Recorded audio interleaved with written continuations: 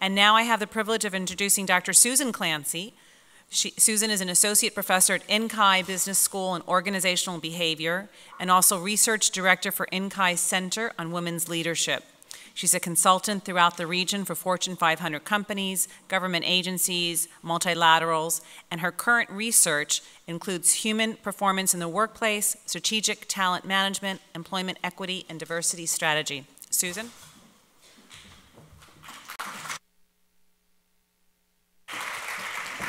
I made it. Thank you very much. Okay. Hello, everybody. How are you doing? Good? Okay. I'm here and I'm a little nervous because usually I have my PowerPoint, which is like a safety thing, and I don't have it. I'm just going to talk. So I'm going rogue. Um, I'm a professor at INCAE Business School. I do research in the area of women and leadership, and I work a lot with public and private sector organizations, trying to help them identify what the barriers they face specifically that are holding you back and what they can actually do about it, how to design and implement effective strategies to get past these barriers. I think my whole career for the last 20 years has been kind of weird because if you asked me when I was 30, I would have said there were no barriers. None. I didn't feel any barriers. I went to college, it was half women and half men. I got the jobs I wanted. I got into graduate school. I got a PhD. I was assistant professor at Harvard. It was like a blessed life. And what's interesting is it's the same thing my students are saying now as well. My students, my MBAs at INCAE, and they're saying there are no barriers. It's equal opportunities. This is a different world than it was in the past. And this scares me because it's not a different world from what it was in the past. Today, we are not making it to the top, just like we never did before. And if we do not understand what exactly these barriers are, that they exist, the only way we find out is when we crash into them. And for me, that is how I discovered the barriers. I discovered them by crashing headlong into them. What happened first? Work life balance. That's a major barrier you're all facing right now. I was 32, I was married, I had two kids, and it was kind of stressful because I'm doing most of the work around my house, and my husband and I have the same jobs, and I'm cranky at night because, like, why am I feeding the baby, and why are you studying? But it was okay, I could deal with it until he got an important promotion that required him to go to Nicaragua. I didn't even know where Nicaragua was. He had to go, and if he didn't go, the institution that funded his PhD was going to make him pay back the money, which was $150,000. We didn't even have $150. So, this is my issue. Do I follow him to Nicaragua and give up my perfect career at Harvard? I got there as assistant professor, or do I stay alone with my two kids and have an international life with my husband? So, what did I do? And I know people will say, you should have been more brave, you should have taken more risks, you should have stayed. Forget that. I had two kids and I love my husband. What choice do we have? I picked up and I went to Nicaragua. That was barrier one hitting me over the head. Barrier two is what? Stereotypes, bias, cultural expectations. I get to Nicaragua and I want to work. That's what I do. I work. And what do they say to me in Latin America? Oh, what's wrong with you? Oh, pobrecitas tus hijas. Oh, mamá, muy complicada. This is it. I, there's something wrong with me because I want to work. But even my mother was saying, honey, this is a time for you to relax. You've worked so hard your whole life. Take care of your nails. Do some yoga. So it's okay. I plow through all that. Guys don't have to plow through. I plow through and I get a job, and I get a job at INCAE. And INCAE is founded by Harvard Business School and a US State Department grant in the 1960s. And it's a good fit because it's Harvard and there are a bunch of academics there. And I said, great. But then guess what? They said, you can have a job, but we want you to study woman stuff. I'm like, what are you talking about? What do you mean women stuff? Well, they said, we need somebody on the faculty who knows about women stuff, leadership, stuff like that. And I'm thinking, this is unbelievable. Like, I'm an experimental psycho psychopathology, you know? Like, I, I, I don't want to study women stuff, but I'm a people pleaser, like a lot of women are. and they're giving me an opportunity, and I say, okay, whatever, I'll study women stuff. Now, I have to say right now, I'm glad I did it. Because if I didn't do it, I wouldn't be here right now. And if I didn't do it, I wouldn't know what I know. And in a way, it's what a, friend of mine who I adore, named Patricia Menendez, who is a partner at Greenberg Traurig, she says it's an example of what she calls failing upwards. What looks like a mistake at the time, looks like you're a victim of something, you actually can use it for your benefit. I failed up and I got into this important area. And what I want to do is I just want to tell you in the next 15 minutes what I've learned about this topic, the lessons I've learned, and it's related to everything that we're talking about right now. Number one, what I did is I decided not to go into it with the lens of feelings and emotions. I was a scientist and I wanted to go into it looking at data and facts. What did the data say about women in leadership? First of all, was there actually a problem? That was my first question. If so, what was the problem? The problem was clear. The problem is not now a gender diversity problem. Most organizations in the United States, and especially the multinationals in Latin America, have gender diversity. The problem is gender diversity in leadership.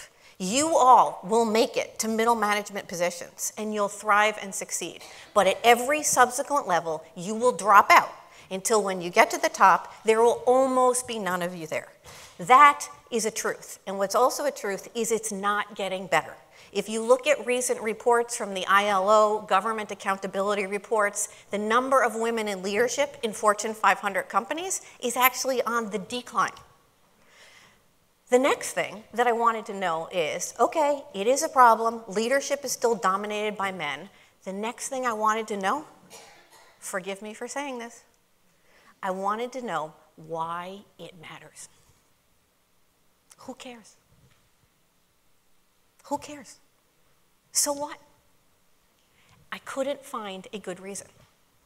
15 years ago, I couldn't find a good reason beyond fairness and justice that it mattered why women were important in leadership.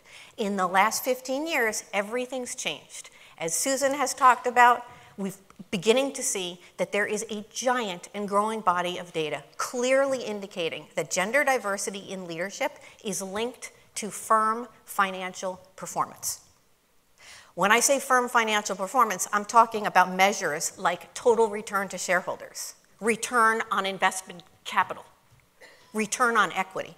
This is clear, uncontrovertible. There is data that shows that women, gender diversity in leadership is linked to firm productivity. Gender diversity in leadership is linked to cultural satisfaction levels of employees, which is in turn correlated with decrease in employee attrition rates and decrease in healthcare spending. So, from a private sector perspective, there is absolutely no doubt that you are necessary in leadership for an economic imperative. It's not about fairness, it's not about justice, it's because when you're represented in leadership, firms make more money.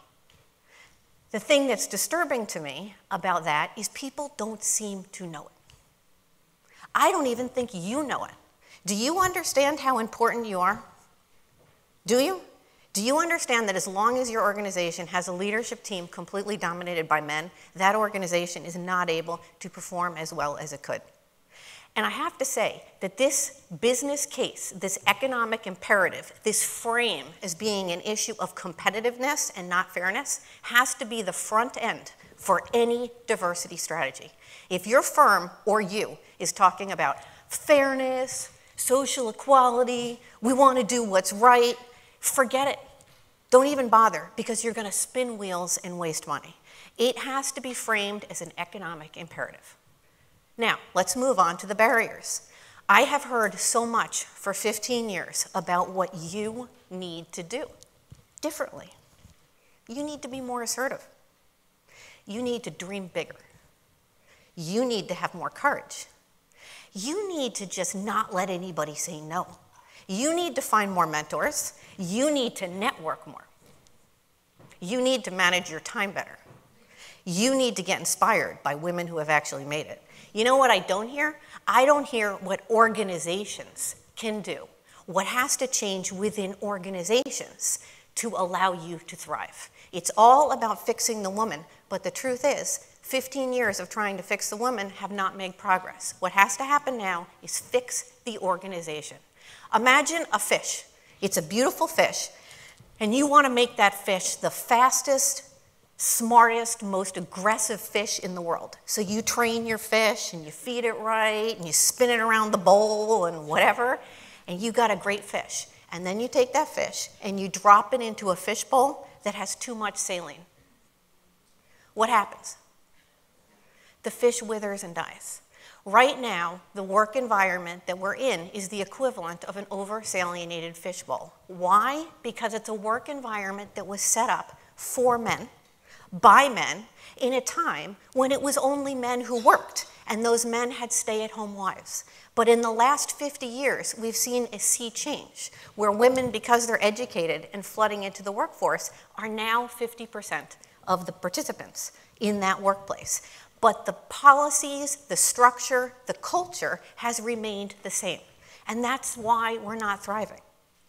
So let me make this less specific. Let's talk about what we could actually do involving overcoming your barriers that would focus less on what you need to do and more on what organizational leaders need to do. Number one, let's address the first barrier work life balance. Right now, everybody knows women do most of the work around the home. This occurs across culture, everywhere, every country in the world. Women working full time do most of the work around the home. What else do we know? There are only 24 hours in a day. What else do we know? That a typical job to get to the top requires you to get into a car or a bus or a train and drive. Hour commute on average into a box where you sit in that box for 10 hours a day, and then you get out of that box and you get in your car and you drive home. As long as that is how work is done, women will never survive. Not because they don't have the ability, not because they don't have the talent, but because it makes no sense. There are not enough hours in the day. Why is that the culture of work? They call it in academic terms macho work hours. It doesn't need to be. There's something called technology. Today, all of us can work from wherever we want to work at any time. The panel was discussing this. This is work life balance. I don't like that term. This is flexibility. This is using technology to allow you control over when and where you work. And when your organization says to you, you work wherever the hell you want, whenever you want, as long as you get your job done, women stay and they thrive. Now, the important thing about this is this technology and work life balance thing is increasingly, and this is important for all of you to know, something men want as much as women. If you look at surveys from leading institutions, McKinsey, Manpower, et cetera, we're seeing this is the number one non-monetary factor important to men. So this idea of using technology to allow you more flexibility in when and where you work is something you want and something men want. And that means that any firm in the future that hopes to attract, retain, and promote the best talent is going to have to fundamentally change their culture to allow for more work-life flexibility. Does that make sense? So it's not you needing to change, it's your organization needing to change. Number two, let's talk about bias and stereotypes for a second. They exist, we know that, right? We gotta worry about explicit stereotypes. Explicit stereotypes are when a guy says to you, I'm not gonna hire you. You're gonna have two kids in the next five years and you're gonna drop out. That's explicit stereotype. We don't have to worry about that. What we have to worry about is implicit stereotypes. It's the stereotypes that women and men have inside their head that makes it harder for women to be evaluated equally. So you might be working much better and much harder than that guy next to you, but because I associate him with leadership and not you, I see him as being better. Let me give you a fun example of a stereotype. A father and his son are involved in a car accident. This father dies, the son lives, and is brought to the hospital. Upon arriving in the hospital, the head surgeon runs over and says, I can't operate on that boy because he's my son. What gender did you originally picture the head surgeon as? If you're like most people, you thought of him as being a man. In fact, a lot of people can't even make sense of what I just said. In Panama last week, a guy was like, oh, I know, it's a ghost. A kid in my class in Costa Rica two weeks ago said, Yes, they're gay. It's a gay couple. So, what I'm trying to say, it's easier for people to think of the head surgeon as gay or as a, as a ghost than it is to think there's a woman. So it's a funny anecdote, but what I'm trying to tell you is built in inside all of your heads are biases that prevent women from getting evaluated equally. And you know what the only thing you can do about those biases are? You can raise awareness all you want. It doesn't matter. You can't change them. They're freaking locked into your head. The only thing that works is something your organization has to choose, do, and it's called objective performance evaluation systems. When you are being evaluated at every level, those evaluations have to be based on data and information that you can see and prove, and not on people's opinions about whether you'll make a good leader, or whether you're ready for leadership, or whether you have what it takes. A perfect example is professional orchestras. Globally, until 1970, they were only 5% women, and that was because women didn't have the artistic ability they didn't have the discipline it takes to be great musical artists. In 1970, they started blind auditions. So now you audition behind a screen, and guess what you have to do? You have to take off your shoes because women's shoes make a distinctive click when they walk across the floor. Today, professional orchestras are almost 40% women. That's objective performance evaluation. And that's what needs to have happen. It's not about you being harder or stronger or better. It's about bias is interfering with your leadership potential being accurately assessed. So, in conclusion, I think the main point I'm trying to make is that I'm glad you're all learning about how to network and be strong and dream big. But the truth is, the fastest way to get you into leadership is not to change you, it's to change the organizations that you work for. Because the existing culture and the existing systems doesn't make sense anymore. Now, change is hard, and it's expensive, and it's time consuming, and nobody likes it. But you know what else is hard and painful? Being dead. And right now, this is no longer an issue of doing what's right. This is an issue of your firm remaining competitive in the 21st century. Right now, as we've been talking about, you are more than 50% of the consumers of any product. You are 80% Latinas in the United States of consumer decision makers in the House. You are 50% of the talent in any organization. And by the way, if we extrapolate into the future, and if the organization is looking for college educated talent, women are 60% of the potential talent. You are not a diverse group. You don't belong in diversity initiatives along with people that are handicapped or have different sexual orientations. You are half if not more, of what your organization needs to remain competitive in the future. What does Charles Darwin say about species survival? It is not the species that's the fastest, it's not the strongest, it's not the one that's lived the longest, it's the one that is quickest to adapt for change. And my call out to all of you is to stop the relentless focus on you and what you need to do different, and start with a relentless focus on what organizations have to do to make you able to stay in the game. Because we need you in the game, it's an economic imperative.